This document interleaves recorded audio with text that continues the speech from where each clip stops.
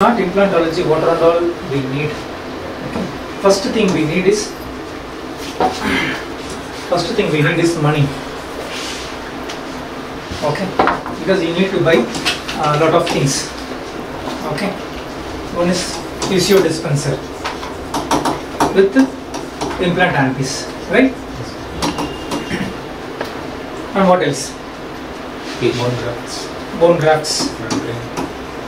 Membrane, bone grafts, membrane. Okay. Then implants. Then kits for sinus work and kits. Okay. Implant kit. research. Yes. Implant kits and sinus lift kit. Ridge expansion kit, right? Yes. Okay. Then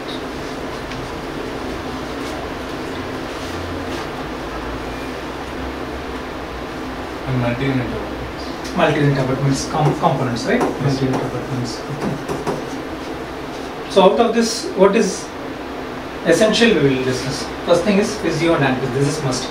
Any implant, whether conventional or basal, you need to have first this.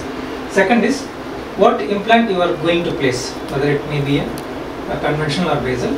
That implants and that implant kit. That implant kit. Sometimes it may not be interchangeable. and it may not be compatible with the Nobel Biocare. Okay, but some companies they are interchangeable. The same components you can use for. So you need implants and that company implant kit. Within the kit, what all the components we will discuss later. Bone grafts and membrane we are not using. We are not used for first 12 years. We are not used. So there is no expenses for us. There is a major expenses if you do conventional. Okay, implant kit we already discussed. Sinus lift kit and the ridge expansion also we are not practicing. Okay, so this is also so uh, since we are practicing only single piece, multi-unit abutment, those also not necessary. So the basic thing if you want to start single piece, this is the thing. And additional one more thing is the uh, welder, welder, intraoral welding to unite all the implants. Okay. So boiling down to only three things. One is physio with handpiece, implants kit plus implants. Third one is the uh, intraoral welder. Okay. So money part, this is the part. Second part is one is money, then knowledge.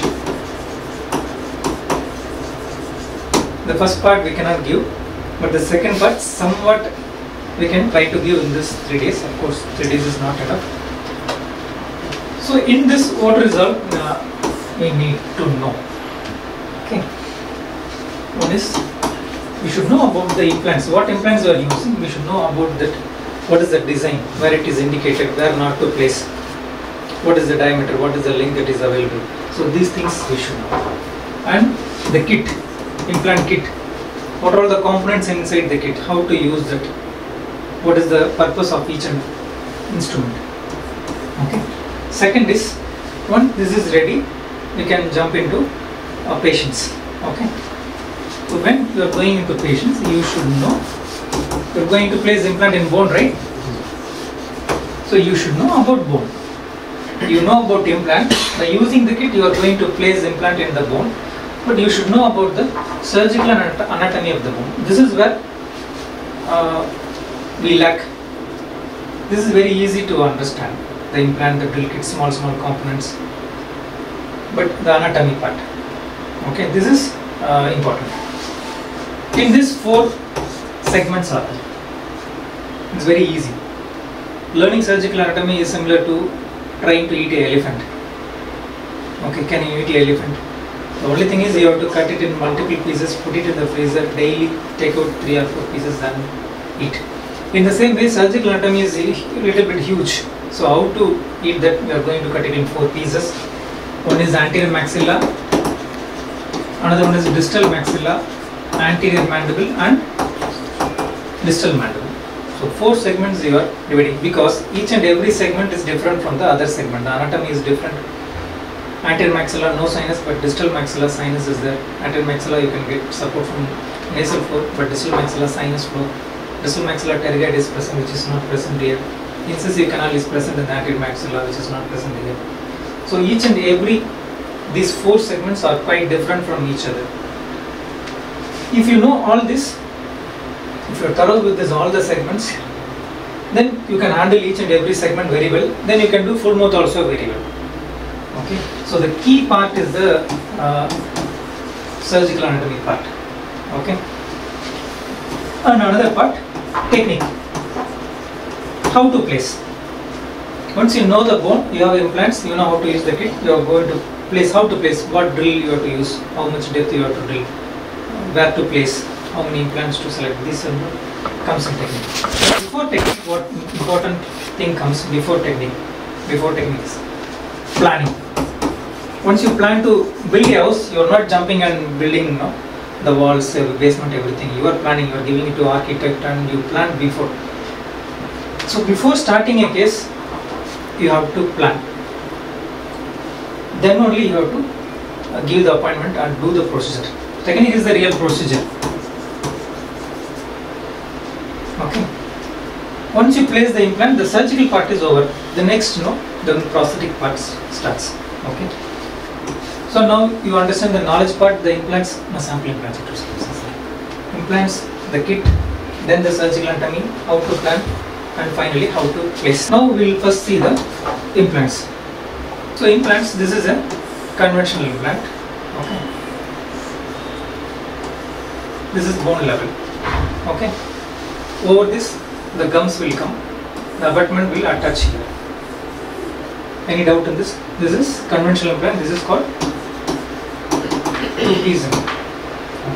Basal is quite different.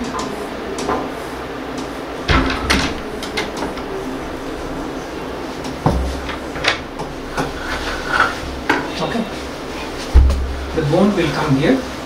The gum will come here. This part will be sticking outside. Okay. So this is the body. This is the neck. This is the abutment. So this is coming in two pieces. Abutment separate, implant separate. We are connecting both with the screw. But here there is nothing here.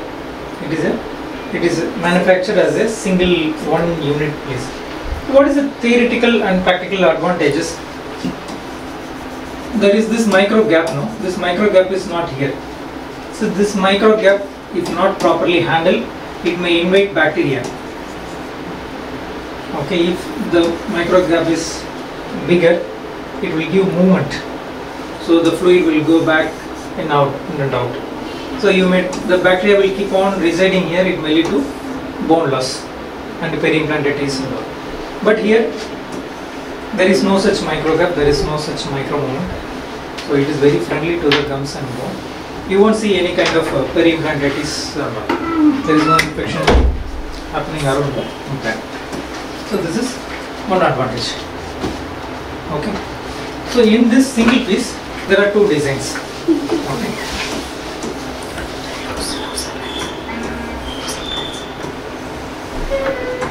This is one design. This is compression design. These threads are called compression threads. That means when you put it into the bone, it compresses the adjacent bone. This surrounding bone, it compresses. It makes the softer bone into a, better bone. And another design is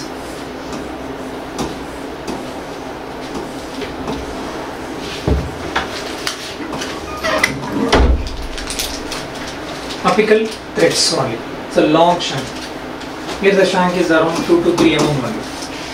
Depending upon the company. Some company give it 2 mm, some company with 2.5, some company give it 3 mm. But here, is the basal implant actually. Okay. So this is a problem in terminology. Okay. Both are called single piece. But only this design is the basal design. This is not basal design.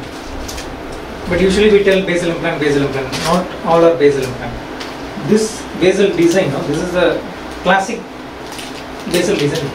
So this is a compression implant. So this is smooth surface. Everything is smooth surface here. Threads only near the apex. this part left fully open, only shank. But here this part is the rough surface, similar to conventional implant. This is the neck part, that is a smooth surface because that is going to be in the gums, not into the bone. Okay. So these are the two main designs. You see, this is the tooth, one missing tooth is there. Okay. So this part is the alveolar bone. Okay. Now we are going to place the implant.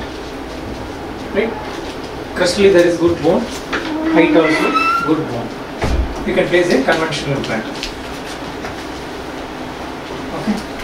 Place abutment implant then abutment either immediately or delayed loading whatever it is. Then you can Perdão. Não?